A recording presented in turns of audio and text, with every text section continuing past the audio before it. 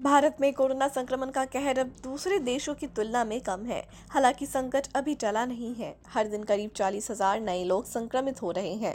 गुरुवार को स्वास्थ्य मंत्रालय की ओर से जारी आंकड़ों के अनुसार पिछले 24 घंटे में 41,806 नए कोरोना केस सामने आए और 581 संक्रमितों की जान चली गई।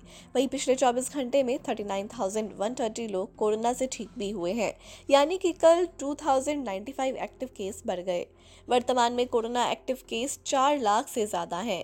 देश में four lakh thirty two thousand लोग अभी भी कोरोना से संक्रमित हैं, जिनका इलाज चल रहा है। कोरोना से अब तक कुल four lakh eleven thousand nine eighty nine लोगों की मौत हो चुकी है। अच्छी बात यह है कि अब तक कुल three crore one lakh forty four thousand लोग ठीक भी हुए हैं। महामारी की शुरुआत से अब तक कुल three crore nine lakh eighty seven thousand लोग संक्रमित हुए हैं। स्वास्थ्य मंत्रालय के अनुसार चौदह जुलाई तक देश भर में thirty nine crore thirteen lakh corona vaccine के डोज दिए जा चुके हैं। बीते दिन 34 लाख 97,000 टीके लगाए गए। वहीं भारतीय आयुर्विज्ञान अनुसंधान परिषद के अनुसार अब तक 43 करोड़ 80 लाख कोरोना टेस्ट किए जा चुके हैं।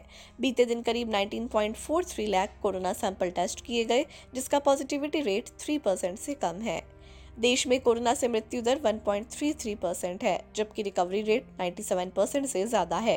एक्टिव केस डेढ़ फ़ीसदी से कम है। कोरोना एक्टिव केस मामले में दुनिया भारत का छठा स्थान है। कुल संक्रमितों की संख्या के मामले में भी भारत का दूसरा स्थान है, जबकि दुनिया में अमेरिका ब्राज़ील के बाद सबसे ज़्यादा मौत भारत में हुई है। कोरोना वायरस से जुड़ी ऐसी तमाम खबरों को पाने के लिए बने रहे हमारे चैनल के साथ।